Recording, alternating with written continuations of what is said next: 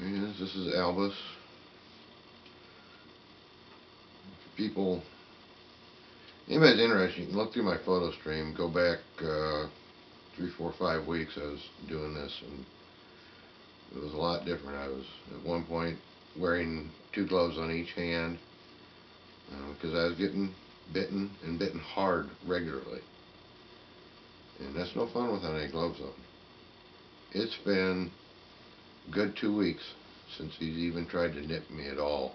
So um, it's good progress for this guy because he still hasn't been neutered and that's that's my fault because of uh, I don't have the money to get it done right now. Talk to you tomorrow.